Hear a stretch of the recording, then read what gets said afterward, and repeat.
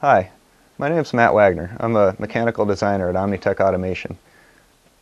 I'd like to tell you about the latest project we just finished, which was a stainless steel material handling crane for a customer that processes superconducting wire. This project was unique for us in a number of ways.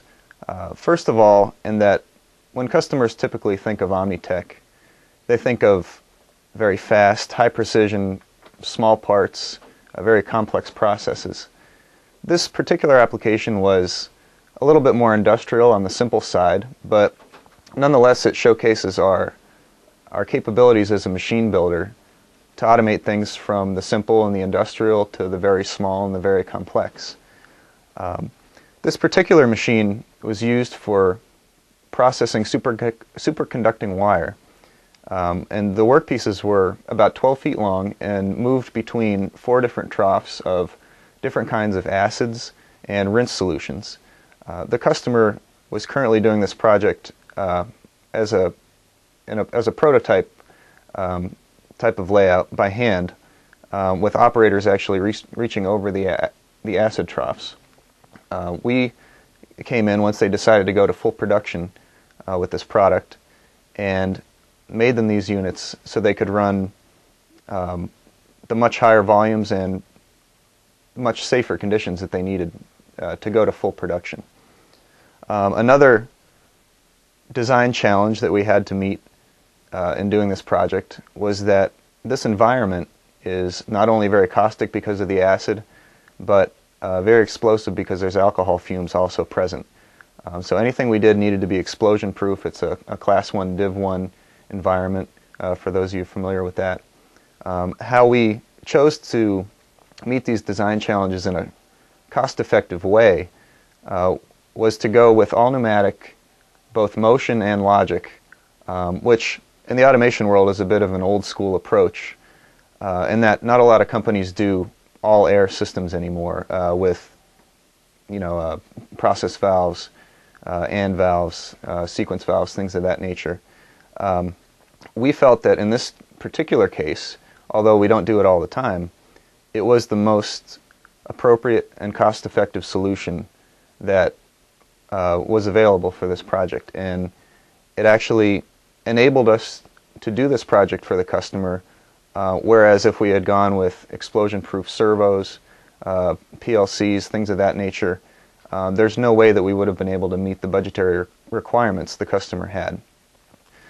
Uh, another design challenge with this project was that it's in a very corrosive environment.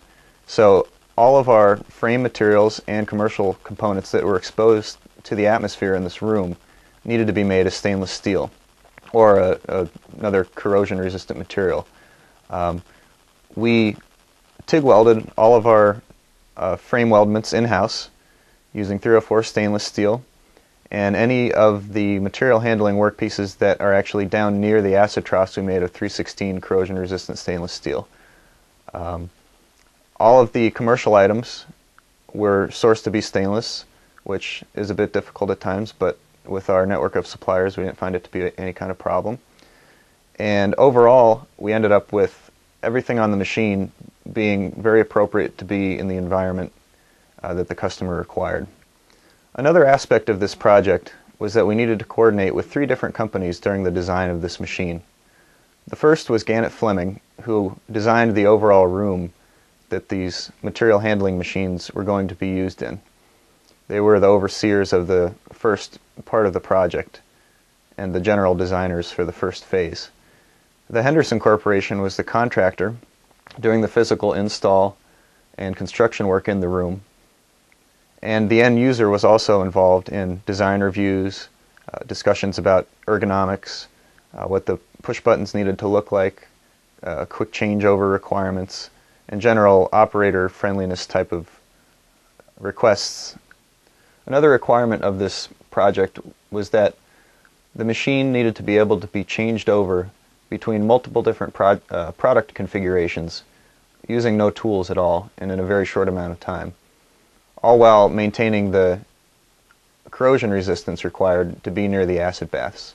We accomplished this by using two quick release mechanisms, one pull pin that enabled the operators to move um, the workpiece holding brackets from location to location, and another quick release pin that goes through both brackets that attaches the end user's uh, workpiece holding cards to our workpiece attachment bar at the end of our system. The result of this is a changeover that can be done very quickly and with no tools. Overall, as a company, we were very pleased with how this project went. We feel that we gave the customer a solution which was very reliable, exactly what they needed, and not over-engineered. Uh, at Omnitech, we have the capabilities to do uh, very fast, complex, cutting-edge technology types of projects, but we also recognize the fact that that's not what every customer needs.